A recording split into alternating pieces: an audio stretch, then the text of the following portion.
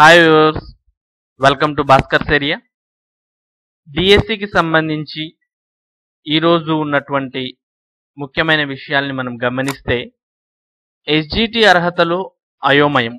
డిఎస్సిలో ఈ ఉద్యోగాలకు దూరం అవుతున్న రిజర్వ్ కేటగిరీ పిఈడి అభ్యర్థులు. ఇక శారీరక సామర్థ్య పరీక్షలపై అభ్యర్థుల ఆవేదన ఎంఏ లాంగ్వేజ్ అభ్యర్థులకు కూడా డిఎస్సిలో అవకాశం.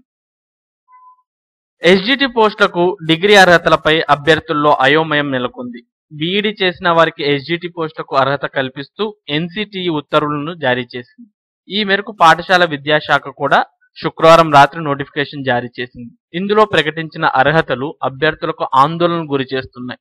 ఎస్జిటి పోస్టులకు దరఖాస్తు చేసేవారు డిగ్రీ మరియు బీఈడీలలో యాభై శాతం మార్కులతో ఉత్తీర్ణులై ఉండాలని నోటిఫికేషన్లో పేర్కొన్నారు.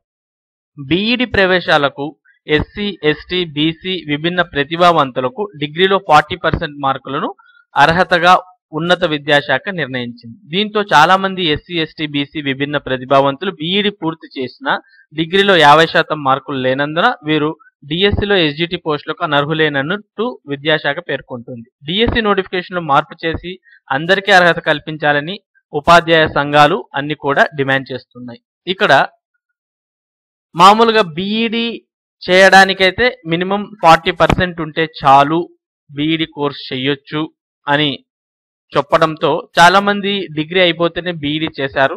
కానీ ఇప్పుడు ఈ నోటిఫికేషన్లో వచ్చేసరికి చాలా మందికి ఏం చేశారు అంటే బీఈడిలోన డిగ్రీలో రెండింటిలోన ఫిఫ్టీ పర్సెంట్ ఉంటేనే అప్లై చేసుకోవచ్చు అని చెప్పడంతో ఎవరైతే ఫార్టీ పర్సెంట్ పైన ఉండి బీఈడి చేసింటారో అలాంటి వాళ్ళంతా అనర్హలుగా ఇక్కడ పరిగణించడం జరుగుతుంది. గవర్నమెంట్ వీళ్ళకి కూడా ఫార్టీ పర్సెంట్ అంటే పర్సెంటేజ్ని డిగ్రీ పర్సెంటేజ్ని ఫార్టీకి మేబీ బీఈడి పర్సెంటేజ్ని కూడా తగ్గిస్తే చాలా మంది బెనిఫిట్ పొందుతారు.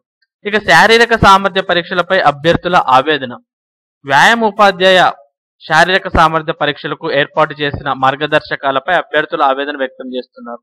ఇరవై ఐదు ఏళ్ళ లోపు పురుష అభ్యర్థులు ఎనిమిది వందల మీటర్ల పరుగు పందాన్ని కేవలం రెండు నిమిషాల నాలుగు సెకండ్లను పూర్తి చేస్తేనే పది మార్కులు ఇవ్వనున్నట్లు పేర్కొన్నారు.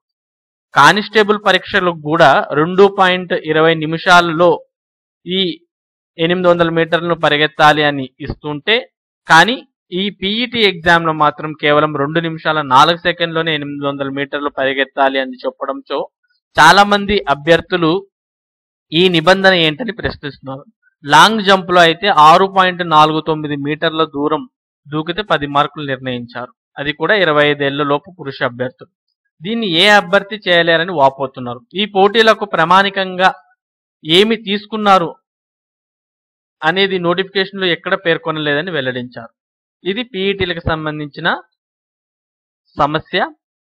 ఇక ఎంఏ లాంగ్వేజ్ అభ్యర్థులకు డిఎస్సిలో అవకాశం. డిఎస్సిలో భాషా పండితులు స్కూల్ అసిస్టెంట్లు పోస్టులకు ఎంఏ లాంగ్వేజ్ చేసిన వారు కూడా అర్హులేనంటూ మంత్రి గంటా శ్రీనివాసరావు ప్రకటనలో తెలిపారు. సదరు అభ్యర్థులు తప్పనిసరిగా బీఈడి భాషా మెథడాలజీ గాని భాషా పండిత శిక్షణ కోర్సు గాని పూర్తి చేయాలి. ఎంఏ లాంగ్వేజ్ చేసిన వారికి అవకాశం కల్పించాలని అభ్యర్థులు కోరడంతో ఈ మేరకు నిర్ణయించారు. ఈ ఈ మేరకే జీవో నంబర్ సిక్స్టీ సెవెన్కు సవరణ కూడా తీసుకురానున్నారు. ఇప్పటికే పాఠశాల విద్యాశాఖ దీనికి సంబంధించిన దస్తాన్ని రూపొందించింది. దీని పాఠశాల ప్రభుత్వానికి పంపారు. అంటే ఎంఏ లాంగ్వేజ్ చేసిన వారు కూడా స్కూల్ అసిస్టెంట్ పోస్టులకు అర్హులే నంటూ ఇక్కడ పేర్కొనడం జరిగింది. సేమ్ ఇదే విషయాన్ని మనం ఆంధ్రజ్యోతి న్యూస్ పేపర్లో కూడా చూడొచ్చు. డిఎస్సిలో ఎంఏ అభ్యర్థులకు ఛాన్స్ ఎస్ఏ భాషా పండితులుగా అర్హత. సర్కారు కీలక నిర్ణయం. దీనికి సంబంధించి విషయాలు మనకి త్వరలో అఫీషియల్ వెబ్సైట్లో కూడా రాబోతున్నాయి. ఇవి ఈ రోజు ఉన్నటువంటి డిఎస్సి ఇంపార్టెంట్ న్యూస్.